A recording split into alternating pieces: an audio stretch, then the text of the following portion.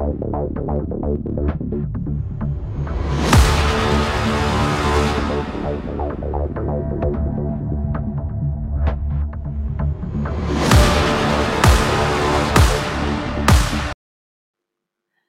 दोस्तों, मैं are K trading से रवि कुमार आप लोगों का स्वागत करता हूँ अपने YouTube channel R K trading में।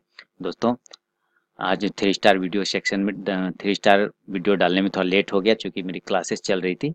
तो थोड़ा सा उसमें लेट हो गया। अभी रात के बारह बज रहे हैं तो अभी मुझे समय मिला है। मैं थ्री स्टार में तीन स्टॉक को यहाँ पे डाल रहा हूँ, जिसे हम लोग कल, यानी कि अठारह को इंटरडे में ट्रेड करेंगे। उसे किस लेवल पे बाय करना है, किस लेवल पे सेल करना है, यानी कि बुधवार के दिन, इसे यहाँ पे मैं बताऊँगा। और क्यों मैंने उन तीनों स्टॉक को सेलेक्ट किया, उसका रीजन भी बताऊँगा यहाँ पे, ठीक है? उसके पहले दोस्तों, अगर अभी तक आप लोगों ने चैनल को सब्सक्राइब नहीं किया तो ज़रूर सब्सक्राइब कीजिए।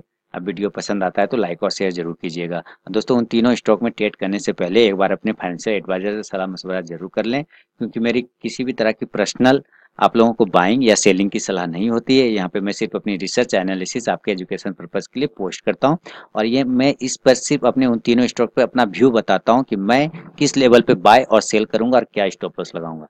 तो चलिए कल हम लोग 24 अक्टूबर 2018 के लिए देखते हैं वो कौन से तीन स्टॉक्स हैं में ट्रेड करेंगे।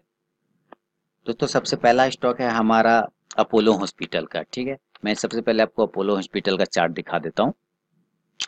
तो ये अपोलो हॉस्पिटल का चार्ट है डेली का, ठीक है? डेली का चार्ट है, बहुत ही अच्छा इसने अपना ब्रेकआउट देने की तैयारी कर रहा है कंटिन्यू 200 डीएमए के ऊपर भी सस्टेन कर रहा है ये ब्लू लाइन देख रहे हैं 200 डीएमए है, ठीक है?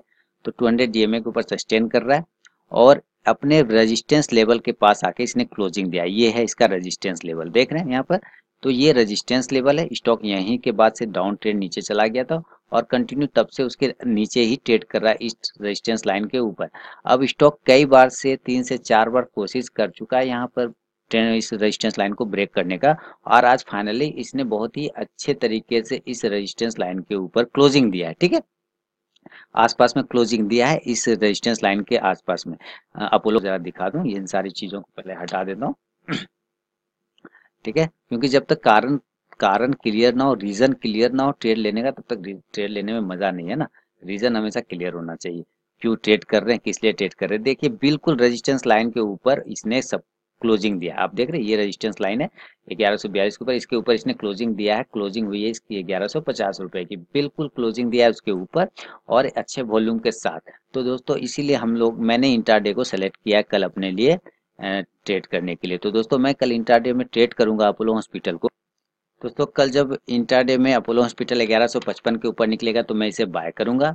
आज का स्टॉप लॉस लगाऊँगा ग्यारह सौ का। पहला टारगेट रहेगा दोस्तों, ग्यारह सौ इकसठ रुपए का। दूसरा टारगेट रहेगा ग्यारह रुपए का और तीसरा टारगेट रहेगा ग्यारह सौ तिहत्तर रुपए का।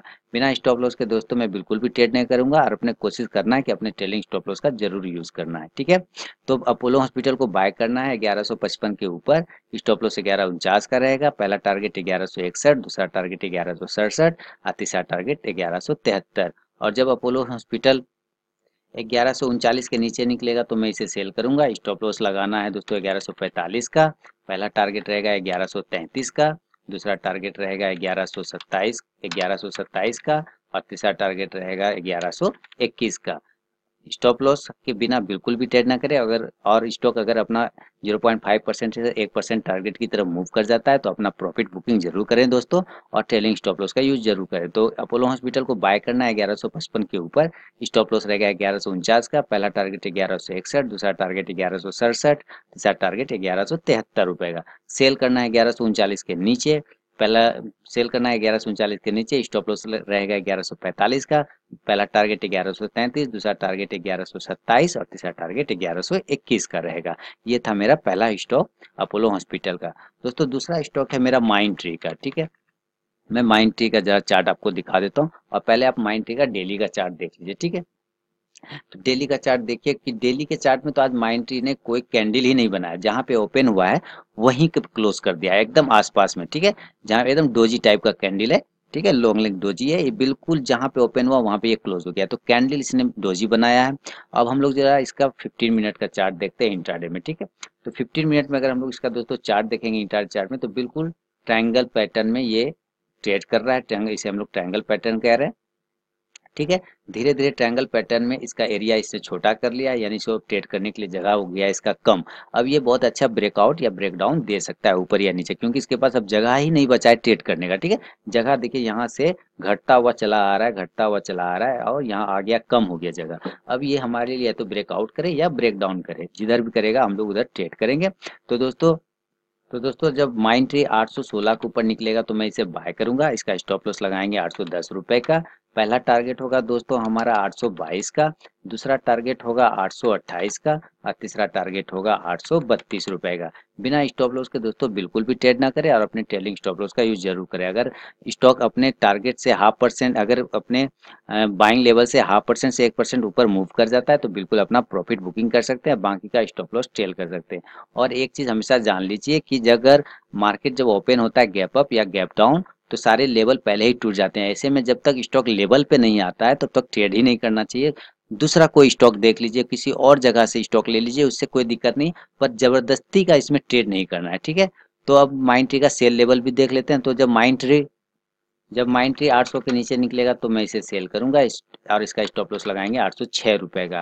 पहला टारगेट होगा दोस्तों सात सौ चौरानवे रुपए का दूसरा टारगेट होगा दोस्तों सात सौ अट्ठासी का और तीसरा टारगेट आएगा सात सौ बिरासी रुपए का। हमेशा स्टॉप लॉस के साथ ही ट्रेड करें, बिना स्टॉप लॉस के बिल्कुल भी ट्रेड ना करें। तो ये दोस्तों माइंड ट्री का लेवल था। बाय करना 816 के ऊपर स्टॉप लॉस 810 का।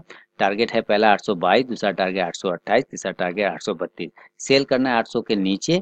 जब निकलेगा तब स्टॉप लॉस 806 का रहेगा। पहला टारगेट सात सौ चौरानवे, दूसरा टारगेट सात और तीसरा टारगेट सात दोस्तों, हमारा तीसरा और अंतिम स्टॉक है दोस्तों कोलगेट का, ठीक है कोलपाल यानी कोलगेट पामोलिव का। तो चलिए हम लोग जरा कोलगेट पामोलिव का भी डेली का चार्ट पहले देख लें। डेली का चार्ट बिल्कुल यहाँ क्लियर दिखा रहा है। दिक्कत वाली ही बात नहीं है कि बिल्कुल अपने रेजिस्टेंस लेवल को ब्रेक करने की ये तैयारी कर रहा है स्टॉक ब्रेक नहीं करेगा तो वहीं से नीचे आ जाएगा, उसमें कोई बड़ी बात नहीं है। तो हम लोग नीचे की तरफ़ ट्रेड करेंगे इंटरडे ट्रेडर हैं, जिधर जाएगा उधर ट्रेड करना है, पर लेवल आएगा तब। तो बिल्कुल रेजिस्टेंस लेवल को फेस कर रहा है यहाँ पे स्टॉक ठीक है? और आप वापस से स्टॉक ने उसी के पास क्लोजिंग दिया है। तो और दूसरा, अगर हम लोग पंद्रह मिनट का चार्ट देख लें तो पंद्रह मिनट में ये स्टॉक क्या बता रहा है? पंद्रह मिनट में स्टॉक बता रहा है कि हम एकदम ब्रेकआउट यानी ट्रायंगल पैटर्न में ट्रेड कर रहे हैं। एक ट्रेन लाइन का सपोर्ट लेते हुए ये ट्रेन लाइन को मैं थोड़ा आगे बढ़ा देता हूँ, है ना?